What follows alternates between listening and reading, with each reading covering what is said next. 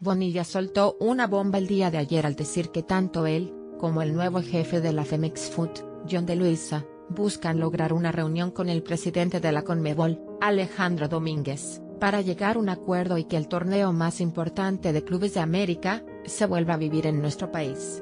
Aunque no hay nada seguro, ya que todo depende de los calendarios de la Liga 1010. Nos dimos a la tarea de analizar los beneficios que obtendría nuestro fútbol de volver a Libertadores y estos son los resultados. 1. Exposición internacional de jugadores Este torneo provoca que las ligas del otro lado del charco volteen a ver el talento local, aprovechan, se lo llevan vara, vara, lo forjan y después lo venden por lo doble o triple de lo que pagaron. Si nuestros jóvenes y federativos se ponen las pilas el torneo, Sería una excelente ventana para dar ese salto más rápido a Europa equipos de buen nivel al estilo Chicharito, por supuesto también sería una buena entrada de dinero, todos ganarían. 2.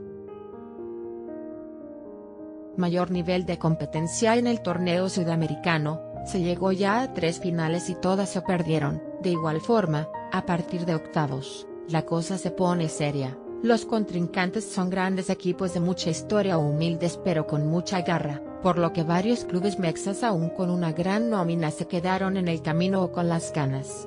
Esto sería un gran incentivo para que se hagan contrataciones de jugadores de mayor calidad o se trabaje mejor en fuerzas básicas, porque ganar este trofeo no es cosa fácil. 3.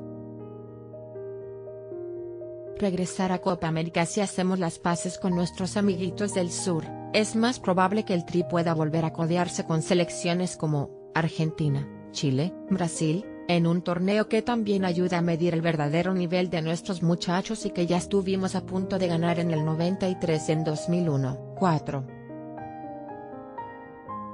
Jugadores extranjeros de calidad Los dueños pueden hacer una la europea, contratar a los jugadores que destaquen en el torneo, de la mano subir el nivel de la liga y si se aplican venderlos a un mejor precio. 5.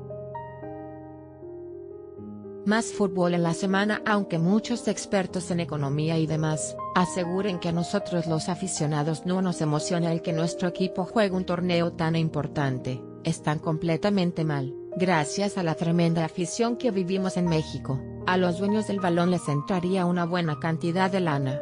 Además así tendríamos más pretextos para acudir al estadio, llenarlo para apoyar con todo ver los partidos y disfrutar de otros 90 minutos del deporte más hermoso del mundo que a ningún buen fanático le vendrían mal. Más noticias en MSN los 7 clubes mexicanos con más títulos en la historia 90.000.